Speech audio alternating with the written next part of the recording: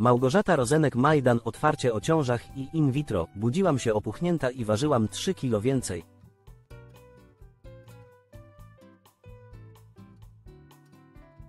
Małgorzata Rozenek-Majdan w szczerej rozmowie z Joanną Lorynowicz dla Twojego stylu podzieliła się swoimi doświadczeniami związanymi z ciążami i procesem in vitro.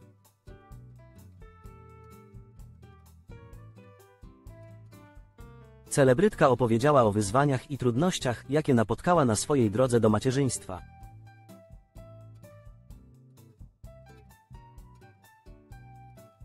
Małgorzata Rozenek-Majdan, kariera Małgorzata Rozenek-Majdan to popularna polska celebrytka, prezenterka telewizyjna oraz influencerka.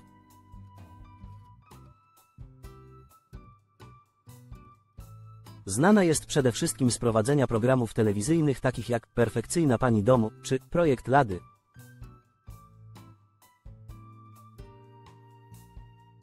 W latach 2022 do 2023 była współprowadzącą w Dzień Dobry TVN, jest mamą trójki dzieci Stanisława i Tadeusza, ze związku z Jackiem Rozenkiem oraz Henryka, owoc małżeństwa z Radosławem Majdanem.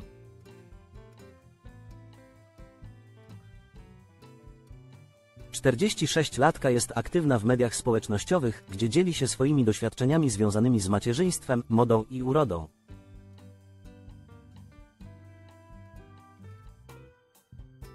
Małgorzata Rozenek-Majdan o in vitro. Małgorzata Rozenek-Majdan od 2016 roku aktywnie wspiera pary borykające się z problemem niepłodności.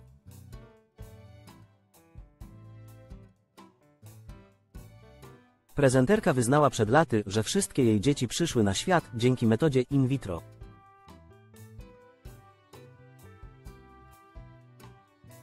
W rozmowie z Twoim stylem opowiedziała ostatnio o swoich ciążach, trudnościach związanych z przygotowaniami do zapłodnienia pozaustrojowego i wyzwaniach, jakie pociąga za sobą powrót do formy po porodzie.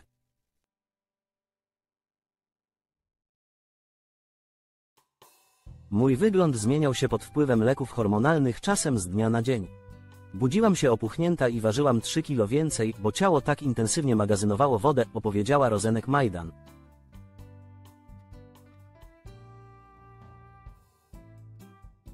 Prezenterka wyznała też, że w przypadku ostatniej ciąży wróciła do pracy już dwa tygodnie po porodzie, co nie było łatwym zadaniem.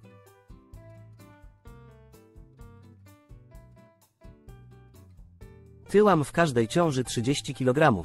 Musiałam ciężko pracować nad powrotem do formy, bo w moim przypadku to nie jest pstryk. I mam idealną figurę, dodała Rozenek Majdan.